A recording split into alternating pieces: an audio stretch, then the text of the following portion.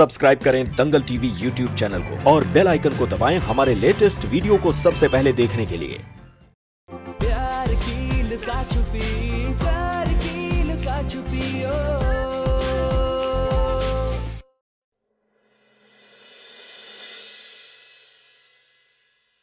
जिस प्यार को हमने अपनी किस्मत मान लिया है उसे भुलाने की कोशिश क्यों करेंगे हम? सार्थक हमसे अलग नहीं है। हमारा ही एक हिस्सा है। और इसीलिए हम अपने उसके और अपने प्यार के साथ धोखा हरगिज नहीं करेंगे। जब तुम अपना पहला प्यार भुला नहीं सकती तो मैं अपना पहला प्यार क्यों भुला दूँ? तो सुन लो तुम भी मेरी बात। जब तक बात हमारी थी तो ठीक था। पर अब ये बात आ गई है मेरी मॉम डैड की इज़्ज़त पे। और उनकी इज़्ज़त पे मैं कोई दाग लगने नहीं दूँगा। तो इस शादी से मैं अब पीछे नहीं हट सकता। I am sorry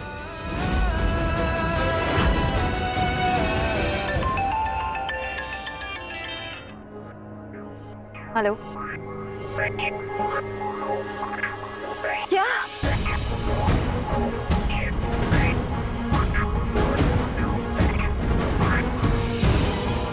शिष्य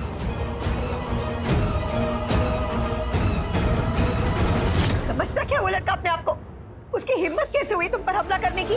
अब क्या हम उनके डर के साए में जीते रहेंगे? आप चुप क्यों हैं? बताते क्यों नहीं कि हुआ क्या था?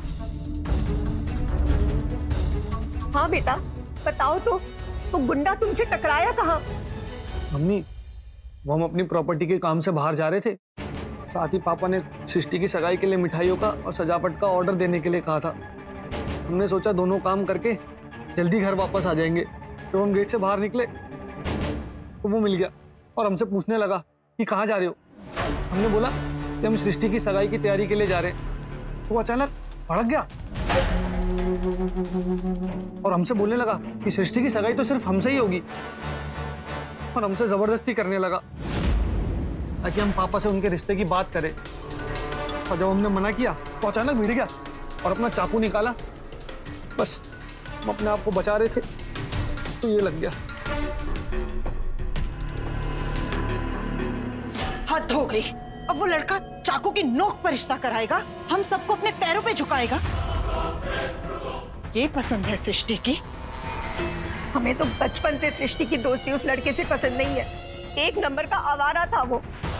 और अब अब तो गुंडा गर्दी पर भी उतर आया है। ऐसे लड़के को तो जेल की हवा खिलानी चाहिए। माँ जो हो गया सो हो गया। छोड़ो। हाँ बेटा। अब बात छोड़े ही दो। पर एक बात हमारे दिमाग में ना घुस रहा वो खुद ही तुमको धमकाया, खुद ही मारा, पीटा। फिर सबके सामने साथ का ले आया।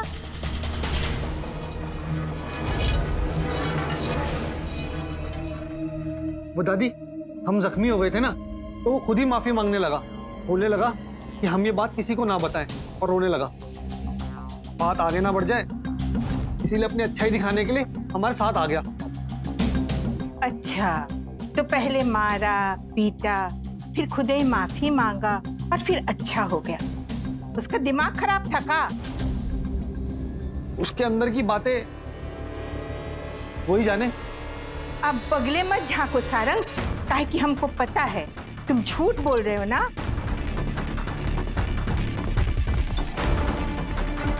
बहुत कहानी सुना लिए अब सच बताओ। जी देखिए हम सिर्फ़ इतना चाहते हैं कि आप जल्द से जल्द कार्रवाई शुरू करें। उसने जानलेवा हमला किया है। आप कोई भी धारा लगाइए पर उस लड़के को गिरफ़्तार करके अंदर कीजिए। जी शुक्रिया। एक बार जेल जाएगा तो अकल ठिकाने आ जाएगी इस लड़के की। हमने नहीं सोचा था कि बात यहाँ तक पहुँच जाएगी। अब तो डर लग रहा है। जब सच सामने आएगा तब क्या होगा? ये तुम कहा किए बउआ पुलिस में कंप्लेन लिखवाई है उस लड़के की। उसने जो आज किया है ना उसे उसकी सजा मिलना ज़रूरी है माँ। चलो ये अच्छा हुआ। सार्थक का सही इलाज कर दिया पापा जी ने। अब सृष्टि के हाथों में मेहंदी सजेगी। और उसके आशिक के हाथों में हथकड़ी। चिंता मत करो बेटा। हम जानते हैं तुम कुछ नहीं किए। थैंक यू पापा। हम पर भरोसा करने के लिए। पर सारंग भैया ऐसा करेंगे ये हमने कभी नहीं सोचा था। को कितना भी दूध पिलाओ, उसका जहर कम नहीं होता। वो पलटकर डसता ही है। अरे, हम तो कब से कह रहे हैं, ये पूरा खानदान है ना, वो फरेबी है फरेबी हम कुछ कहते थे तो हमारी बात सुई जैसी चुपती थी। अब आई अकल। अरे, सार्थक, हम तो कहते हैं, जैसा वो भाई पलटा है ना, वो लड़की भी चौराहे पर तुम्हें चप्पल फेंक कर मारेगी, तुम देख लेना।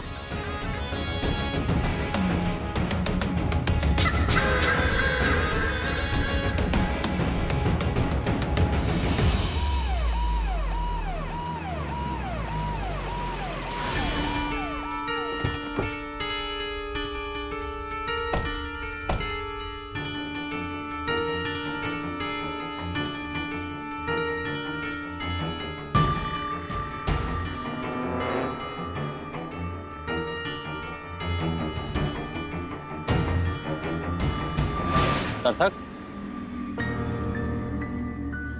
जी हम ही सार्थक है।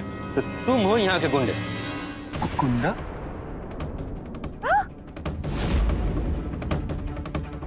चलो बेटा अभी तुम्हारी सारी गुंडागर्दी पीछे से निकालते हैं। चलो। अरे कहाँ ले जा रहे हैं हमें? चलो।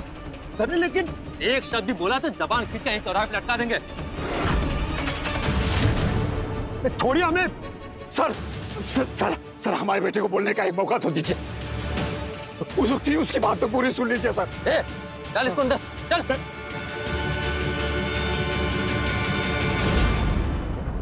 दारोगा जी अरे। देखिए आपको कोनो गलत फहमी हुआ है। हमारे बिटवा विद्यार्थी है गुंडा नहीं है। हमने कुछ नहीं किया उनको छोड़ दीजिए। देखिए आप लोग हमारे काम में बाधा मत डालिए वरना मजबूरन आप लोगों को भी थाना ले जाना पड़ेगा।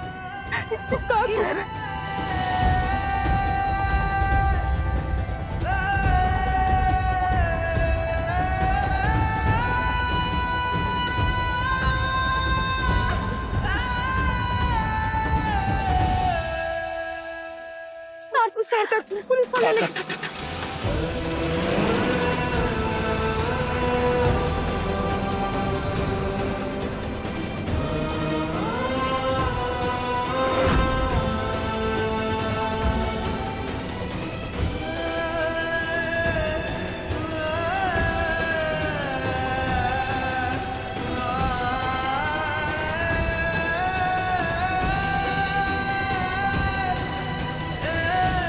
बेकसूर हैं सृष्टि। हमने कुछ नहीं किया।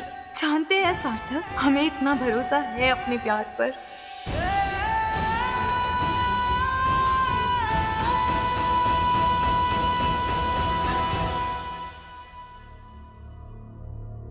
ये तुम ठीक नहीं किए बबुआ आज सबको अपनी बात कहने का हक है। सार्थक से तुम ये हक छीन लिए।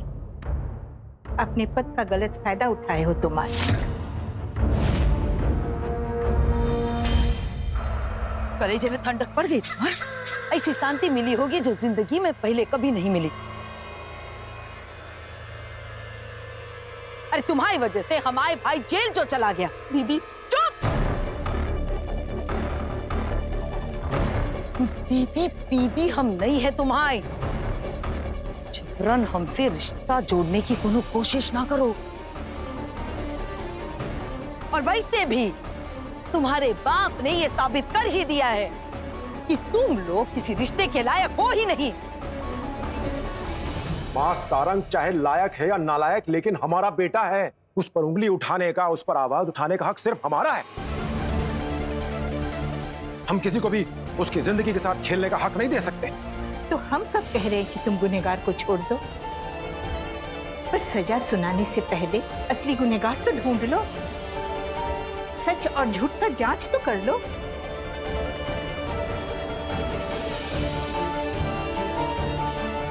माँ हमें हमारे बेटे पर पूरा भरोसा है।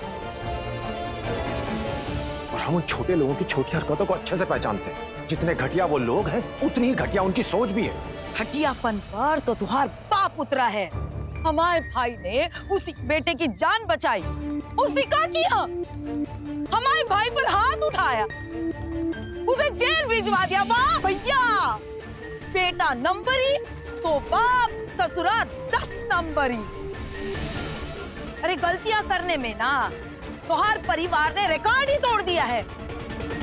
बउआ गलतियाँ इतनी भी मत करो कि जब एहसास हो तो पछतावे का हर दरवाज़ा बंद हो। ये आप कह रही हैं? हम नहीं कह रहे बउआ ये हमारा अनुभव कह रहा है। हम फिर यही कहेंगे कि दोनों पहलुओं का जाँच किए बिना निर्णय सुनाना तुम्हारे लिए ठीक नहीं हाँ हम आपकी फ़िक्र समझते हैं और उन लोगों की नस नस से वाकिफ है।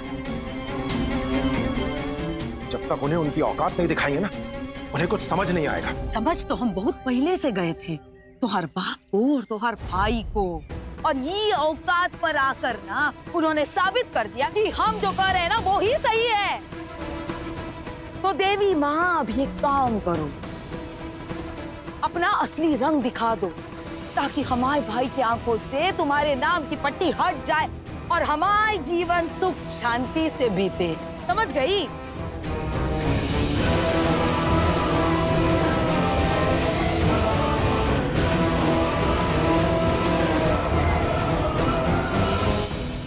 एक बात गांठ बाँध लियो बउआ वक्त का जब डंडा पड़ता है ना तो संभलने का मौका नहीं मिलता। वो सबका हिसाब रखता है। और सूझ समेत जवाब देता है।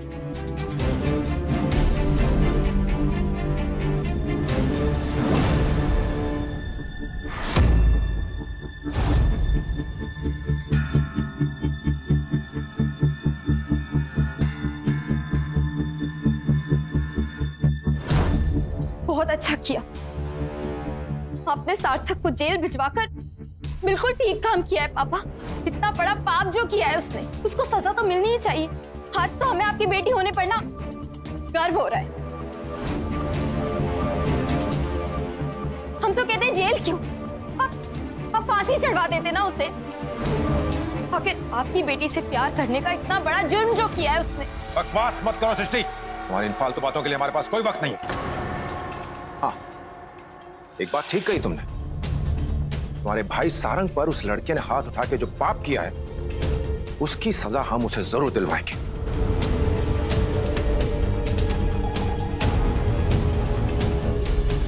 ठीक है।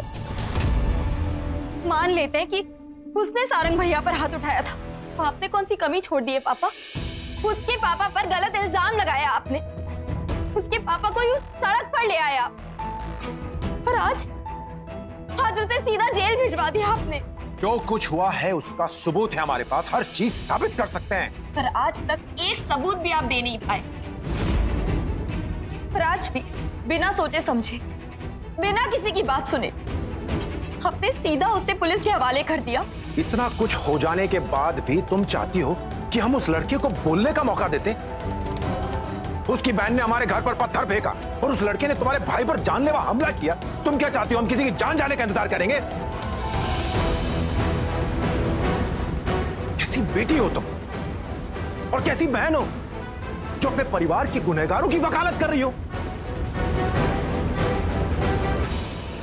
इसको कुछ कहने का मतलब नहीं, पापा जी। ये प्यार में इतनी अंधी हो गई है कि इसे अपने भाई का दर्द दिखाई नहीं देता।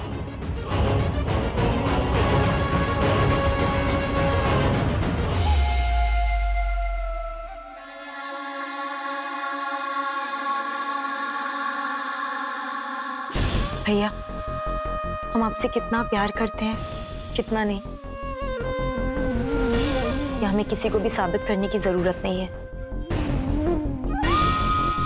हम आपका दर्द महसूस कर सकते हैं, पर उतना ही भरोसा हमें अपने प्यार पर भी है।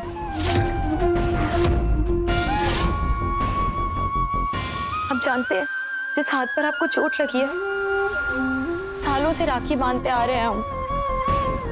और इसीलिए आपको राखी की कसम, आप हमारी कसम खाकर कहिए कि आप पर हमला सार्थक ने किया था।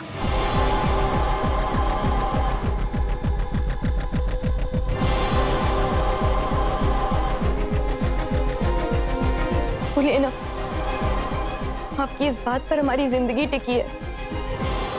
हमारी कसम खाइए और बताइए।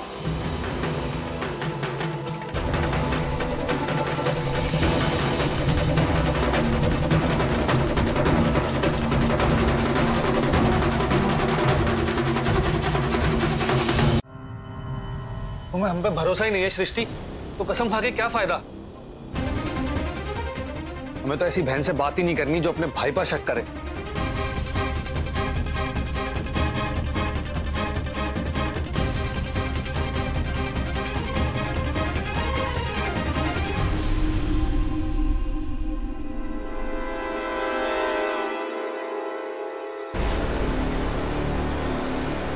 उम्मीद करते हैं, पापा।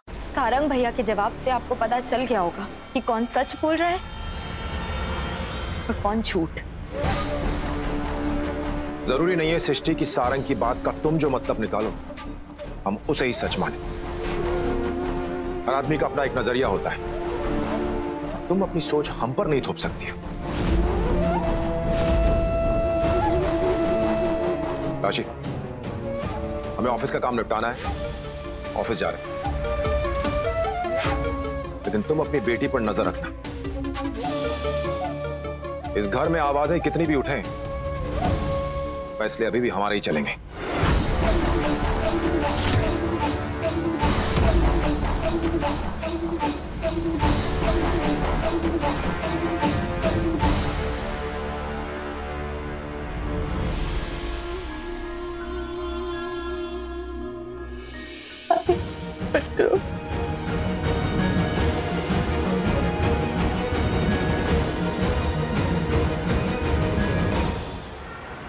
सर ये तो साफ़ साफ़ जादती है। हमारे बेटे पर आपने उल्टे सीधे बहुत सारे इल्ज़ाम लगा दिए जबकि हमारा साथ तक तो निर्दोष है कुछ किया ही नहीं। अगर कुछ नहीं किया तो काहे हमारा और अपना वक्त बर्बाद कर रहे हो? कर लो इंतज़ार अदालत के फैसले का होने दो वहीं से जमानत। लेकिन सर उसमें तो बहुत समय लगेगा। वो सब तो तुम्हारे बेटे को पहले ही सोचना चाहिए था। एक शरीफ आदमी के साथ ज़बरदस्ती उसे धमकी दी और जानलेवा हमला किया। अब तो ये तो गया दो तीन साल के लिए अंदर। हम आपके हाथ छोड़ते हैं सर। हमारे बेटे को छोड़ दीजिए। एक मात्र सहारा है हमारा वो। चुप! बहुत सम्मान हो तुम्हारा। लिहाज करते तुम्हारी उम्र का इसका ये मतलब नहीं कि सर पर बैठ जाओ तुम। चलो भागो यहाँ से। वरना यही दिया पंचर कर देंगे तुम्हारा। नहीं सर। हमारे बेटे को छोड़ दीजिए। कुछ नहीं किया है वो। पांडे बाहर निकालो इसको। अगर बाहर नहीं जाता है तो? निकलो बाहर चलो। इल्ज़ाम लगा के अंदर चलो। चलो।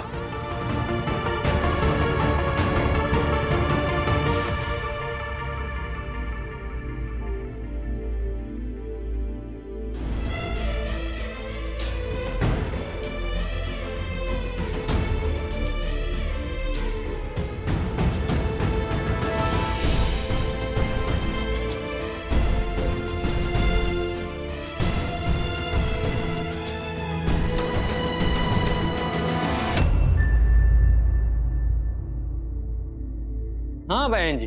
कहिए। हमें सार्थक से मिलना है। हुआ है? जाइए मिल लीजिए।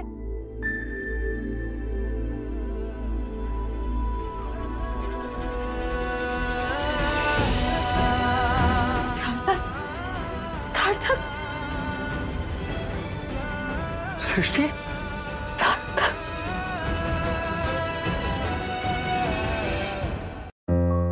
माफ़ कर दो।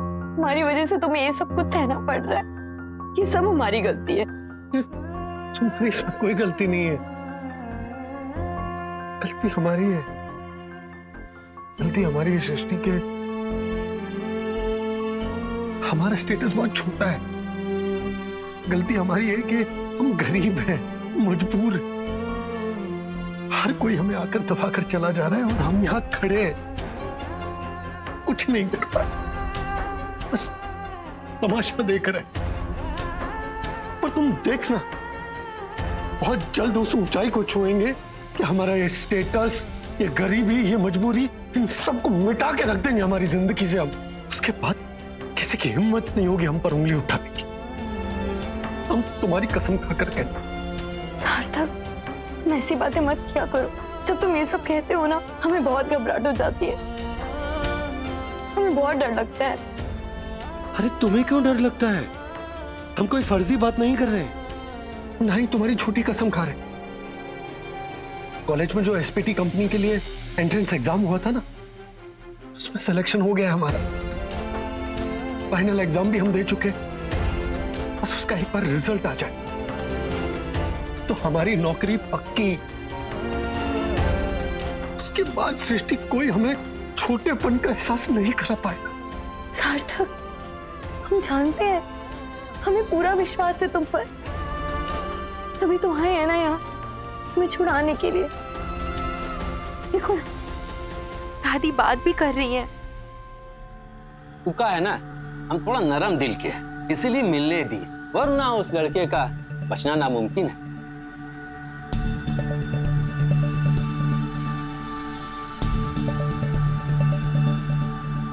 हाँ आप लोग अंदर आ जाओ।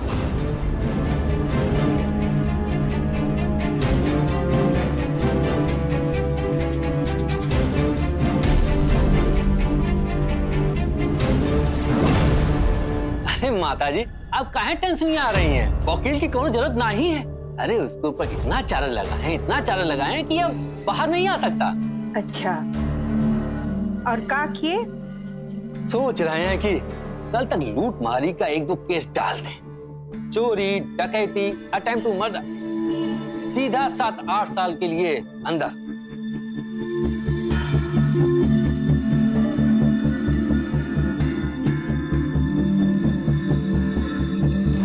बचपन में अखरोट खाए होते तो दिमाग की बत्ती जरा जल्दी जल जाती। ये दोनों वकील को तुम्हारी वीर गाथा सुनाने के लिए नहीं लाए हैं। तुम कुछ भी कर लो। सीनियर वकील साहब सार्थक को छुड़ा कर ले जाएँगे।